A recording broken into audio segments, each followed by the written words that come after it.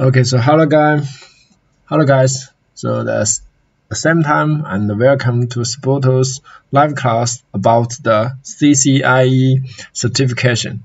And uh, so in the last week we talked about the CCIE H1 configuration and for this week we will talk about the CCIE routing and switch, the troubleshooting one, and we talk about the OSPF part. Okay, so our live class will begin in two minutes. Okay, so in two minutes we will start the live class about the OSPF. Okay, and so before we start the class, uh, first of all, I also need to remind you one thing is uh, if you missed the last week's Spoto's live class about the H1 configuration about the local area network. We just talked about uh, we just talked about the transform of the logic topology and the physics topology. Actually, it's a very important knowledge.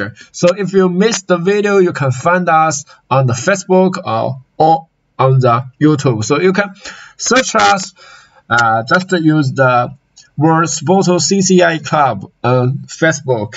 And so you can find us. Uh, we, our name is Spoto CCI Club, and don't forget to follow us. And you can find the recorded videos on our homepage. And also for the YouTube, you just need to search the Spoto S-P-O-T-O. It's very simple. It's our name of our company. And you also don't forget to subscribe us and then you will find the record videos and also we will provide some free videos about the uh, Cisco uh, technology. So don't forget to follow us. Okay. And so this is the first thing. And so next also is a very important. We we are going to talk about the exam.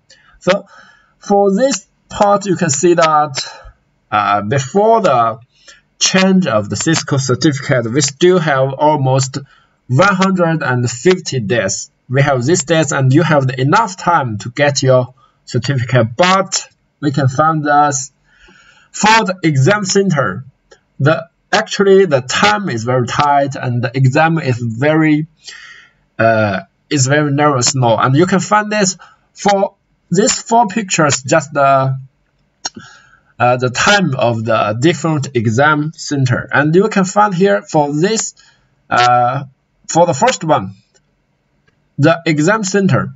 And with the green color the date with the green color it means you can book the exam. And uh, for this red color it means you can't book the exam. And it means ignore the time.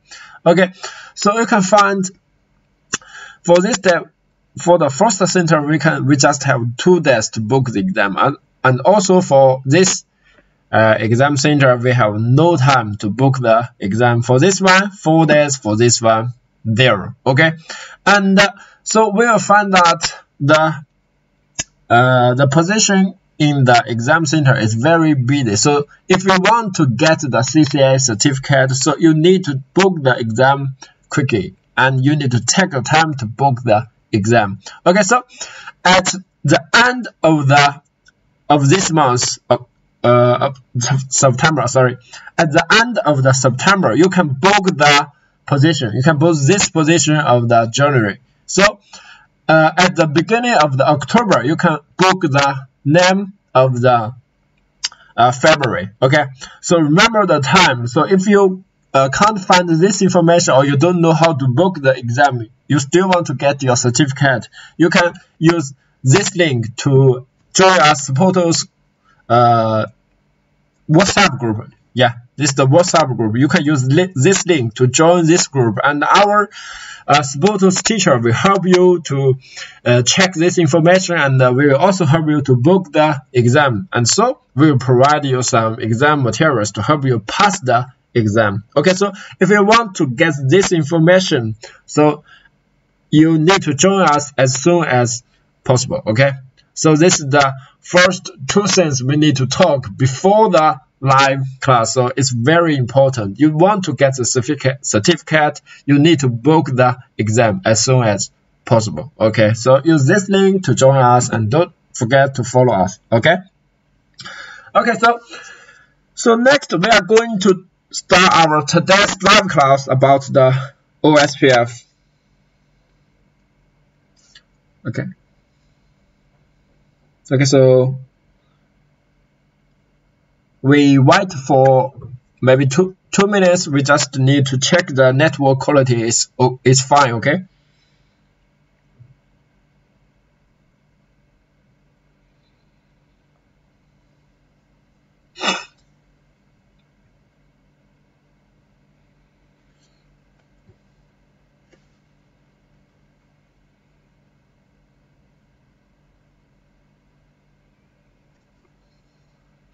Okay, so we just wait for two minutes, so we'll start this this class.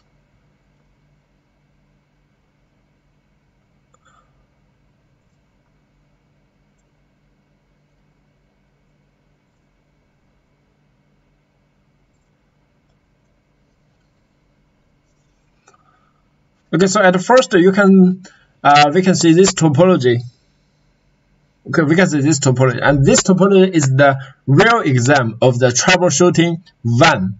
So this part, we will find the fault of the OSPF protocol. Okay. Okay, so at first you can take your, uh, maybe I can give you uh, one minute to see this topology. So we have we have one requirement is if R1 wants to visit this network segment. So I draw it here. So we have a router called R1 here, and uh, we need to let R1 to visit this network segment. And we can find we have two paths to select. For the first one, the path is uh, through R3 and uh, R22. And for the next one is this one, R5 and R22 here. Sorry, this one is 21. So we have these two paths. If you don't change anything, it means we can use these two paths to visit this network segment. Maybe it's link N1 network.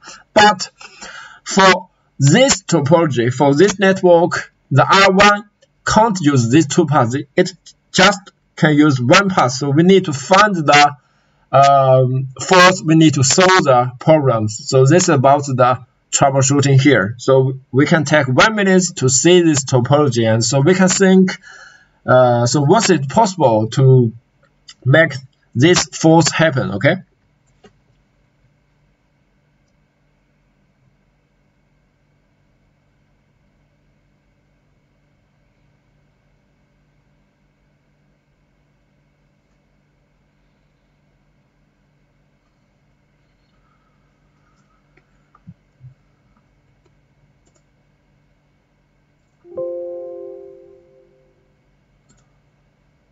Okay, sorry.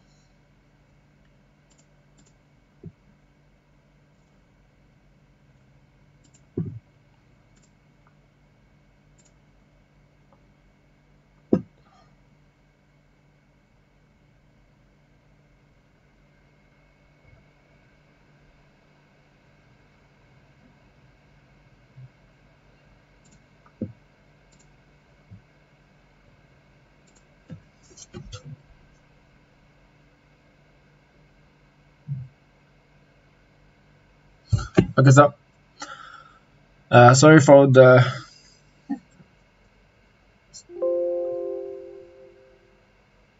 okay, so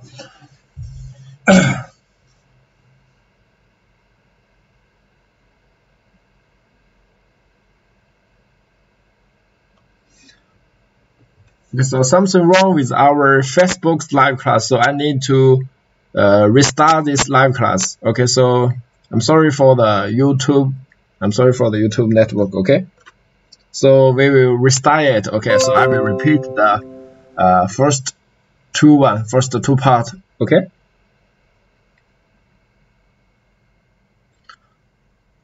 Okay, so first, uh, before our before we start our today's live class, we need to talk about one thing is if you missed uh, last week's live class, you just need to follow us, okay? Uh, search the CCI Support Club on the Facebook and search Spoto on YouTube. Okay, and for the this part is the book the exam. If you want to find this information and you want to book the exam, you just use this link to join the WhatsApp group, and we will help you to book the exam to find the information. Okay, so.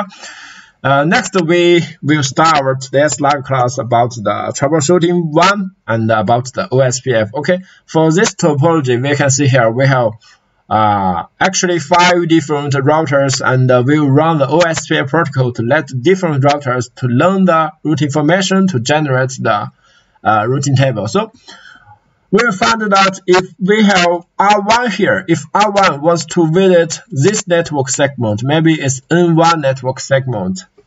So we have two paths to select. The first one is this path, and the second one is this path here. So if this is the normal situation, the R1 can use both these two paths to visit network segment 1, but maybe something wrong with the OSPF protocol. Maybe when you configure the OSPF, you do something wrong, you do the wrong configuration. So we need to find the uh, reason why R1 can't use these two paths to visit network segment 1. So it means we need to let the R1 can use these two paths. It, it calls the load balance. Okay, so we need to solve the problems of this topology. Okay, and so next, first of all, we need to talk about the OSPF. Actually, this protocol is very, very important. And first of all, we need to know the routing protocol is used to let the routers can learn the route information can let the routers can generate the routing table. And uh, we have the multiple different routing protocols and actually OSPF belongs to the dynamic routing protocols and also OSPF is the static stat link protocol and OSPF is the interior gateway protocol. Okay, so first of all, we will talk about the working principles of the OSPF. And we can see here we have different routers here, A, B, C, and the routers will generate the LSA. Uh, it's called the link state advertisement. And the LSA will contain the information of the route information and also the sorry, it's R O U T, the route information and also the top information. So each router will generate, will flood the LSA so that the router will generate the LSDB. It's called the link state database. And uh, each router will have this link state database. And uh, next, each router will use the algorithm called the SPF algorithm to generate, to calculate the shortest path tree. So for this tree, we'll find this tree without loop is no loop in this tree and also is the shortest path. So it's called the shortest path tree.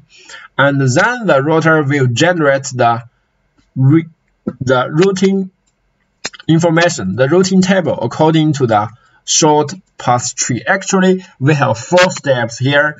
So first one generate the LSA and uh, build the LSDB and use the SPF algorithm to calculate the path, shortest path tree. And the last one is generate the routing table. So this is the four steps of the OSPF working principle and it's very, very important. Okay, so next one, we directly see the topology here. So we can find here, we have the topology, uh, just use our Spoto's cloud uh, lab here. So we can find these two routers is the same with this this topology. Here we can find here uh, these four routers, uh, these five routers, sorry, and the four. These routers first of all, and uh, we need to check the routing table. So this is the first step to check the routing table to to check whether R1 can learn the information or whether R1 can establish the right relationship with the different routers. Okay, so this is the first step. And also we have one requirement here. For this part, it's the output of R1's OSPF database of the summary LSA. This is the type 3 LSA about this network segment. And we will find here for R1, if we want to achieve the load balance re, uh, requirements, it means R1 needs to learn these two same route information from, okay, this R1 needs to learn the same information from R3 and R5. So we can see here for this one, this one is the learned from uh, 123.3.3.C3. Uh, it means this router is R3 here. This router the uh, is R3, and for this one, uh, this one learned from 5.5.5. This one is from is learned from R5 here. So next we check the IP route here. We will find we have uh, one route information but two different entries with the different next hop and the different out interface. So we find the, the out interface is the 2 slash 0 and 1 slash 0. So it means this two bus here. So we need to achieve this M. Okay, so first of all, we need to check the information. We need to check the routing table. So first, we need to uh, enter the device R1 here. Okay, under the device R1. And so first of all, we check the routing table here. Okay, sorry. R1. Okay, so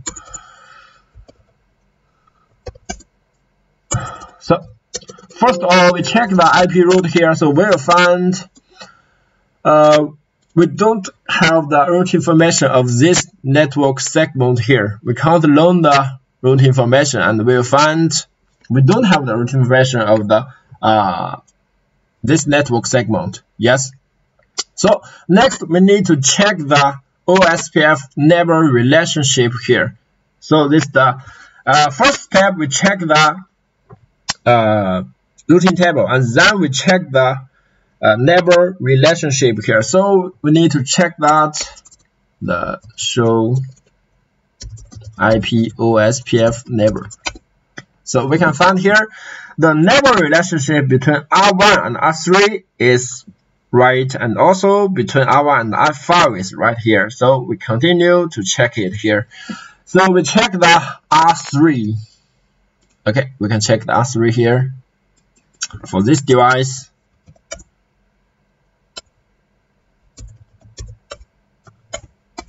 okay and uh, show IPOSPF neighbor to check it so we can find R3 just established the neighbor relationship with R1 but R3 can't establish the neighbor relationship with R221 here so we will find the problem between R3 and R1 here they can't establish the neighbor relationship. Okay, so we try to solve these problems and then we need to check the R21 here. So also we use the same command to check the OSPF, sorry, check the OSPF neighbor relationship. So show IP OSPF neighbor.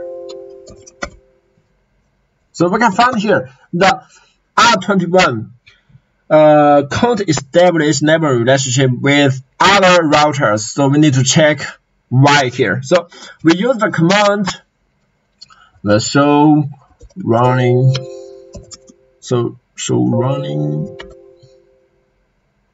the section OSPF to check it. We need to check the configuration of the different uh, routers here. So we, we can find for the R21 here, we find this is all the configuration of the R21 here. And also, we need to check the R3 here. Uh, just use the same command. I just copy this command here. It's the same command. Okay, so check this one. And so we'll find here, we have one key point here.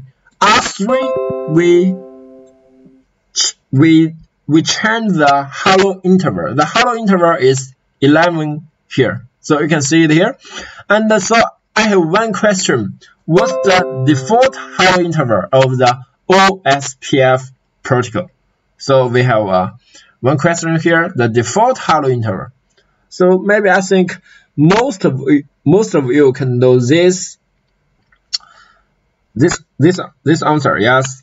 So we know here the default hello interval of the uh, OSPF is 10 here. So if you change the hello interval of R3 here, it means it can't establish the neighbor relationship with R21 here. So this the point knowledge, this is the key point knowledge we need to know here. So for this one, if we want to use the OSPF protocol, it means we need to let the two routers can establish the neighbor relationship normally. So the routers will use the hello packet, and this packet is very important. This packet. Actually, this packet has three different functions. The first one, the packet is used to find the neighbors. Okay, we need to use the hello packet to find the neighbors. We know that the destination of the hello packet is broadcast, and uh, this is the first function. And then the second function of the hello packet is we need to let the hello packet to establish the neighbor relationship. So we want two routers two routers use the hello packet to establish the neighbor relationship. So need they need to uh, is negotiate some parameters. So we can find here they need to negotiate this parameters. The first one, the router ID. So they need to, they can't have the same router ID. Yes. And then next one is the hello and dead intervals. So the default value of the hello packet in the broadcast network is the 10 seconds. And for the dead interval, so it's the four times of the hello interval. So it's the 40 seconds here. So actually it's the question. We can't change the hello interval to 11. Okay, so actually we find the next parameters is the neighbors, area ID, and the route priority, and the uh, designated router, the backup designated router IP address, and also the authentication password. So, and the stub area flags. So this point will affect the establish of the neighbor relationship. So we find the first one is the hello interval. So we need to change the hello interval to the default value. Okay. So we back to the exam and check and uh, change the hello interval. Okay, for this one and R3 here, we check R3 and we need to change the hello interval is the interface interface E to there slash 1 and change the hello interval is IP OSPF hello interval is 10 here. Okay, it's 10 here. So next, we're trying to find the neighbor relationship. So I show IP OSPF neighbor. So we can find that these two routers still can't establish the neighbor relationship. Yes, so we go back to the R21 here. So we go back to this router to find why. Okay, for this one, we can find here, actually, we have one command here. It's called the passive interface default. And uh, then we have one command called no passive interface default E2 slash 1. It means this interface is not the passive interface, but this one is still the passive interface. So also it's a key point here. So we're back to the PowerPoint here. And for this part here, we will find if we have two routers here, and these two routers will run the OSPF protocol. And for the two routers will exchange the OSPF packet to establish the relationship, to learn the uh, information to synchronize the database. Yes. So it means this interface and this interface, we can't set it to the passive interface. But this one, we find R1 we use the F0 slash 0 to connect the PC. So the router don't, doesn't need to use uh, this interface to send or receive the OSPF packet. So we can configure this interface to the passive interface. So we can find this command, the passive interface f0 slash 0. But if you configure maybe, uh, sorry, I remove the, okay, I erase, to erase it and uh, this one, if you configure this one to the passive interface, it means it can't send or receive the OSPF packet so that these two routers can't establish the neighbor relationship normally. Okay, so we go back to the topology and uh, change it. Okay, so this one. Okay, to this one, we need to remove the uh, G0 slash 0, this interface from the passive interface. So we back to this one and this one. And we need to remove this. Uh, so it's no passive interface e there slash there. Okay, to remove this command, and then we can check it. The do show IP OSPF Okay, so we will find here that R21 can establish the neighbor relationship with R3 here. Okay, so first of all, we solve the problem. R3 and R21 can't establish the relationship, so we solve this problem. So next, we're going to check the R1's routing table. So we go back to R1 to check the routing table. So go back to R1 and to check it, show IP route. So we go back to this one, we will find we still can't learn the route information. Yes, we still can't learn the route information. So we go back, we go to R5 and R22 to find why. So we uh, first go to this one. Okay, CIC. And then we use the command through IP route here. So we'll find for this one, for these routers, it can learn the route information about the point is the this point we can check the topology here uh, of this point sorry of this one this is the network segment the 78.48 here. This is the destination network segment. Okay, so here we check the information of the R5 here. Okay, and so next we check the IP uh, OSPF neighbor. So we can check the neighbors here. And we find the neighbor relationship is fine. The neighbor relationship is fine. So we can directly check the uh, configuration of the OSPF. So we show run the running configuration of the section of the OSPF here. OSPF. Uh, so we find actually the configuration is the same, but one thing is one thing is very important. We have another command called the show IP OSPF interface brief here.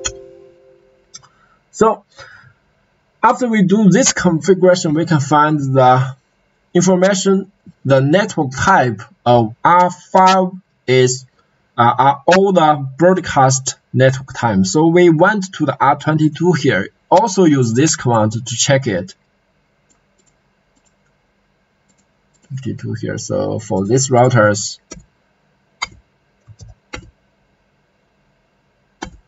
let's see.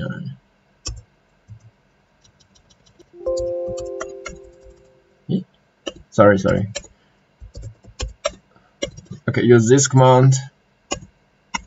So we found here a very important knowledge is this interface the e0 slash 0 and the stat is point to point here.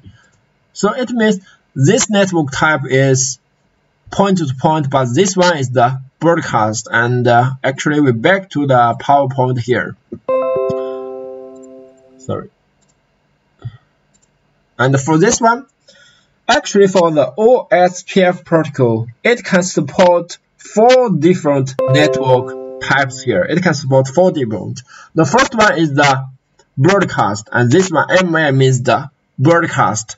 And uh, the next one is the non-broadcast. It means NBMA. Is the NBMA network. Actually, this network is the uh, Frame Relay and also the ATM network. It's called NBMA. And also, if you if you use the serial interface, so it will be use the power, uh, the point-to-point -point protocol. And also, we have another network protocol called the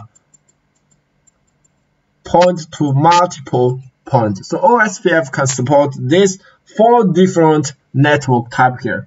So we will find here for this one, for this one, if you just, uh, so we're back to the topology here.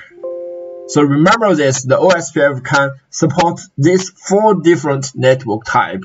So we're back to the topology here for this topology for this topology, if you configure the, this interface to the power to point, but you configure this interface R5E1 slash 0 to uh, broadcast, these two routers can establish the neighbor relationship normally, but it can't learn the routing information normally. Okay, so this is the key point. We will find the neighbor relationship between the R22 and uh, R5 is, is, is normal. So we can find they can establish a neighbor relationship, but they can't learn the route information normally. So we need to change the network type of the this interface. Okay. So we use the command enter this interface ESS1 and uh, use the command the IP OSPF network sorry, the network type. Network is the broadcast. Okay, so we change it to the broadcast. So uh, this is the first force of this configuration. The first one is between the uh, R3 and R21. The OSPF neighbor relationship can't established. Uh, can't establish. But for these two routers, the neighbor, the network type is not the same. So we change them to the same one okay? So after we change this fault so next we go back to the so we need to go back to the R1 to check the routing table here. So we go back to R1 here. Also we check the routing table. Okay so we can find here after we check these two faults here we can learn the route information of this network segment, but we find something wrong here. Yes, you can find this. The requirement is, so we go back to the requirement. You can find this, the requirement network segment with the mask length is 29 here. The mask length is 29, but for our configuration here, we back to R1. You can find the mask length is 30 here. So you can think why. So it means we must configure one interface length, mask length to 30 here. So we make a very, uh, it's a very easy uh, fault. Yes, it's very easy and it's very low level. So we just configure the wrong mask length. So we need to find which interface. Okay. So also we can also find one router is very strange here. So we will find this network segment, actually we can find it's very similar to this one, but the mask length is 24 here. Yes, so we go back to the topology. We go back to topology, so we can find here all the network segment of this topology is 30 or 29. We, we don't have the network uh, segment with the mask length of 24 here. So we don't have this network segment. So it means we must do the summation of some routers. Yes, we must summarize different network segment to this one. Okay, so we must do the different summation to this one to the length of the 24. So we need to find this. Okay, so uh, we can find here for this one we loaded this network information from E1 slash 1 here. So we will find the R1 we use this one connected to R3 here. So it means R1 learns this summarization uh, network segment from R3 here. So we check R3 here. We check all the configuration the R3. Okay, so use the command the show running section OSPF. Sorry. Okay, so we can find here. So this is all the configuration of R3. Maybe there's no mistakes. Yes, there's no mistakes. So we go to R21 here. So we go to R21 and use the same configuration. Sorry, I'll check it.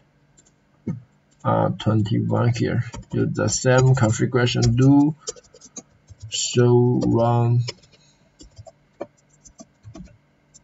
as OSPF. Okay, so we can change here. So we, uh, sorry. So we can find this. This configuration is also the right, no mistake. But for R3 here, so we made a mistake. Okay, so we can find this command. This command, the area one range uh, with this network segment uh, 78.0 with the mask length is 24 here. So we will find this network segment. We learned it from R1 here. So it's the network segment.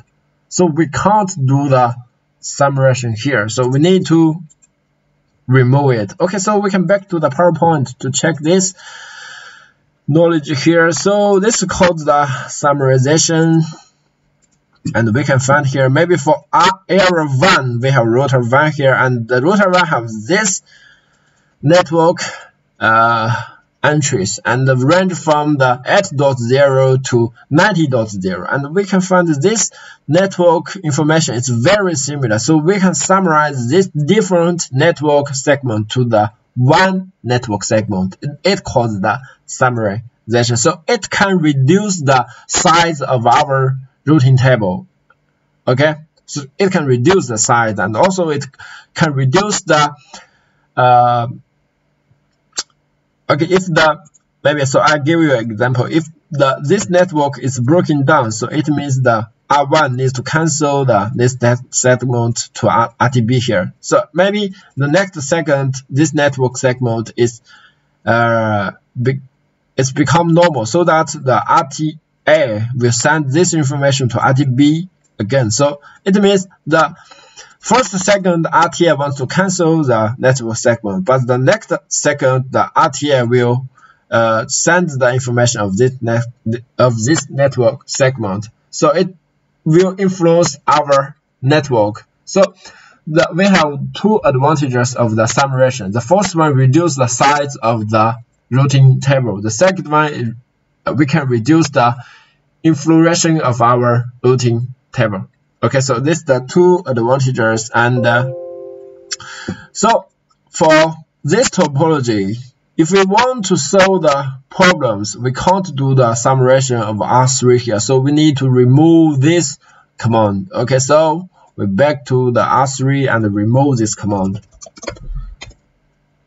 Okay, so the OSPF and the no this command remove it okay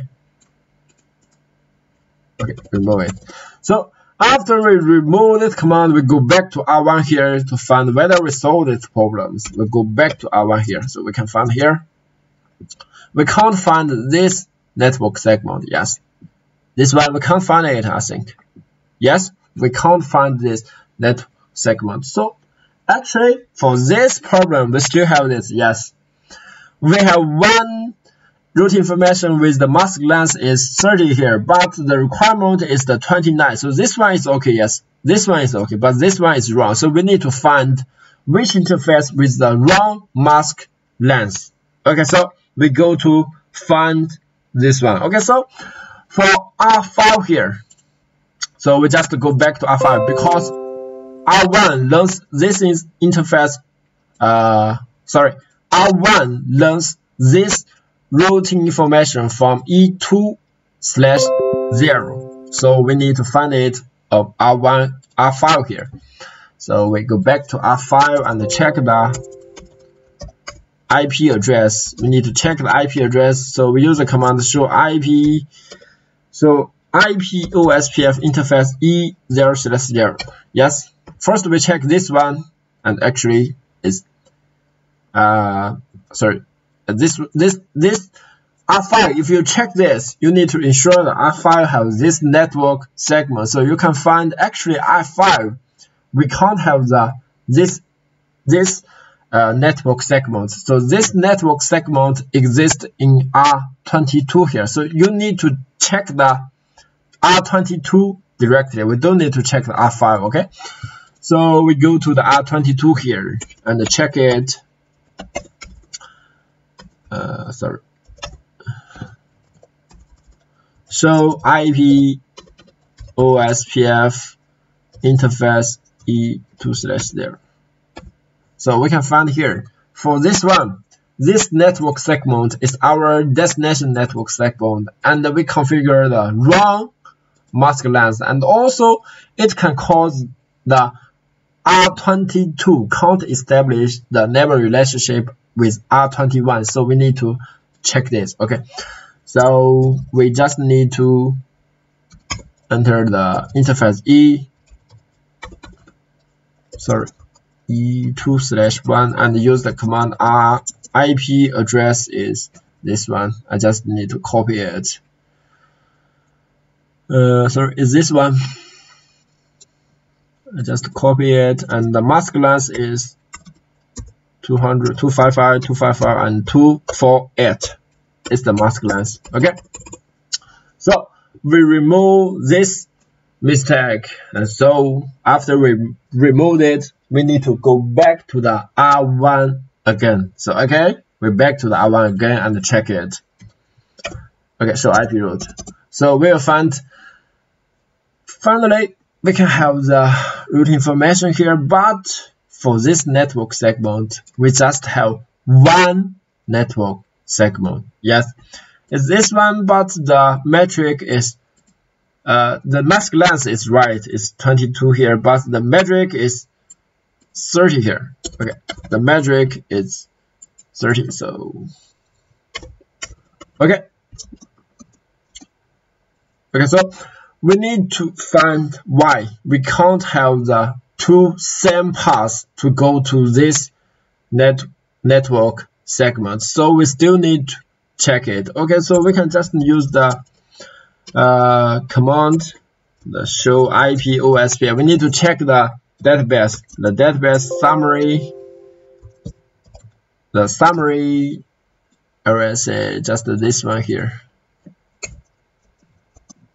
So we can find here, we can find here for this database, we can learn this summary LSA from R3 and R5 here, but we have one question is, the routing information learned from R3 with the metric is this one, 655545, and this metric is too large, so that if R1 learns two route information with the same destination IP address, but this one is metric is 20, this one is is so large, yes, so that the R1 will select this one, actually. So we will find, for this part, we configure the max metric. So we need to find where, okay? So we need to go back to R3 and R21 here to check all the configuration. So we can check here. The configuration of R3 actually is the same here. Yes, it's the same. And we need to check the R22 here.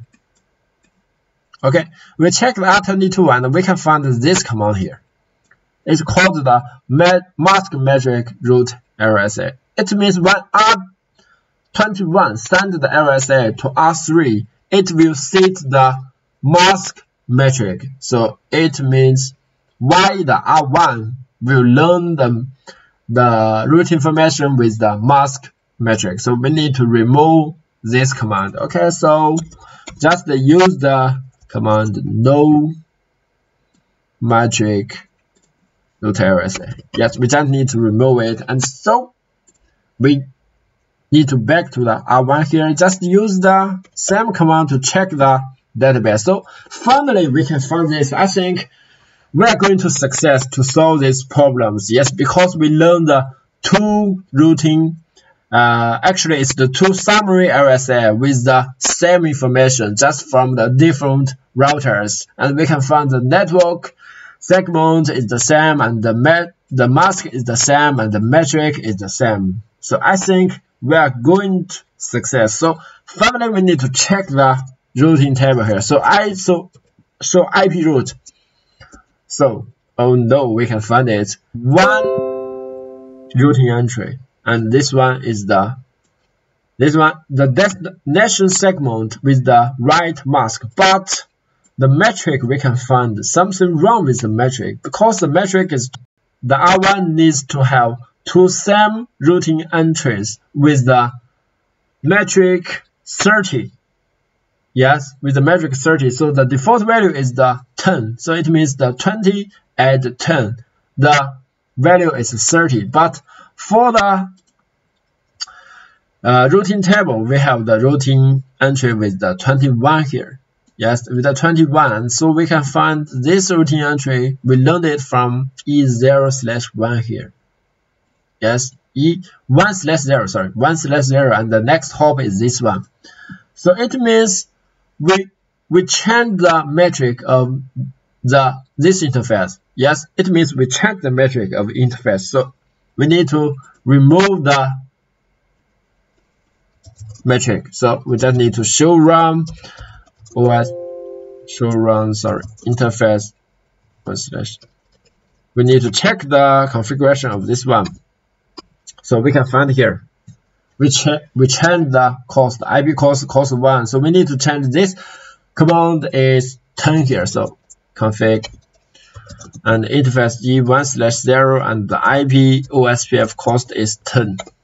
Okay, finally, we, I think we can solve the problems. We can meet the requirements. So good luck to us. And so last one, we check the IP route.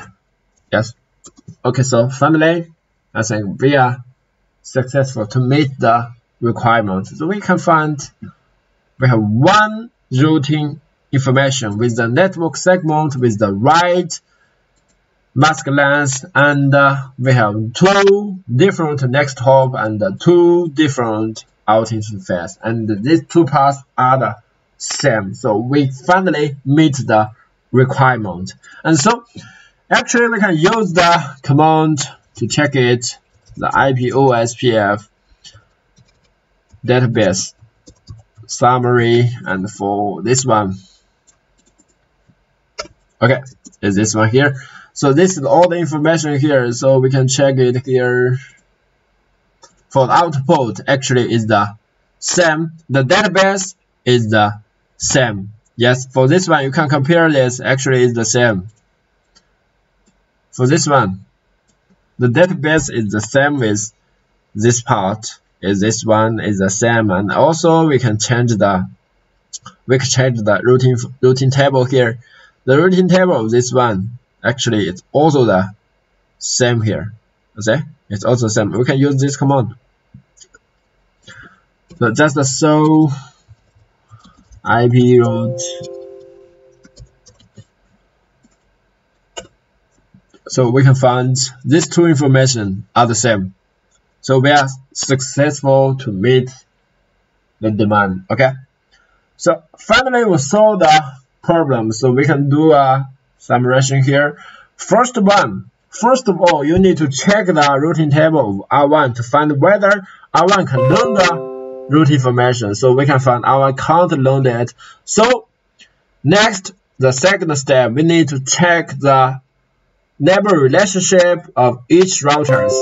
Okay, this is the second step. Check the neighbor relationship. So we find that. So we use this topology. So, so for the second step, we found that R22 can't establish the neighbor relationship with R3. So we find we check the hello interval of this interface. We need to fix it. Okay, and uh, then also we change we set this interface to the passive interface. So we need to remove the command so that the R22 can establish the neighbor relationship with R3 normally. So okay, next we go back to check the R1's routing table. We find we still can't learn the routing information, so we can find for R5 and R22 here, these two routers, we use the different network type so that we need to configure these two routers has the same different network type. Okay, so this is the third step. And for the first step, we also go back to R1 and to find that we can learn the destination segment, but the mask length is the different.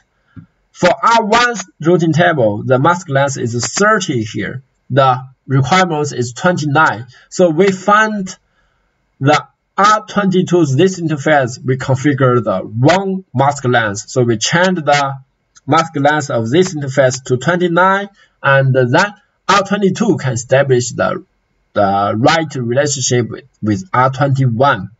So actually we, we, we remove this uh, configuration, we, we check the configuration and then we go back to R1 to check the routing table. And then we will find that the R1 learns the route information from R3 with the mask metric. So we find we configure the max metric of the R22 here. We need to remove this command and then we find R1 still think uh, it just like one path from R3 to R21 because we just changed the cost of this interface. So we need to change it to the default code or you can change it to one, but it's different from the output here. So need, you need to change this one to the 10 here so that we finally solve all the problems. Okay, so this is the all the configuration about the troubleshooting one, the OSPF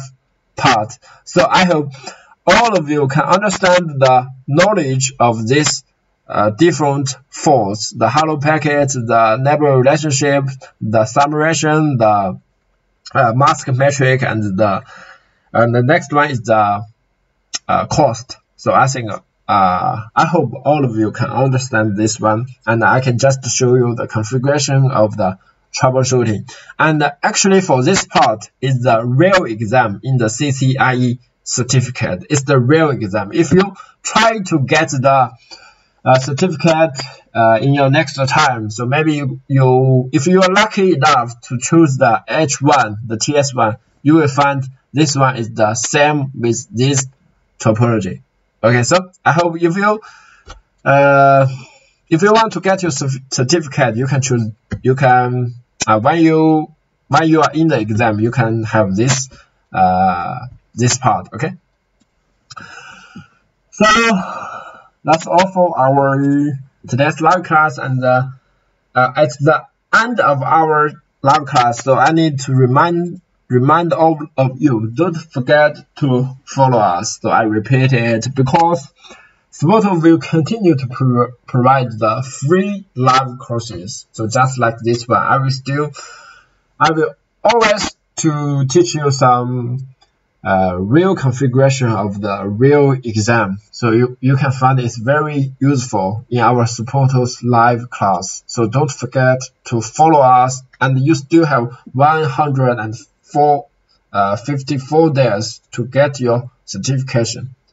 And uh, actually, uh, you, you need to use this link, use this link to join our supporters WhatsApp group because we will tell you some information of the uh, exam center. We, we will tell you how to book the exam because the time is very tight and the exam center is very uh, the, the data is very busy here, it's very tight.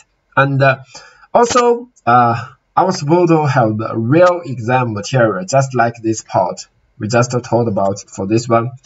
It, this is the real exam material. So if you want get your own certificate before the change of the Cisco next level certificate, you can use this link to join us and find the exam material.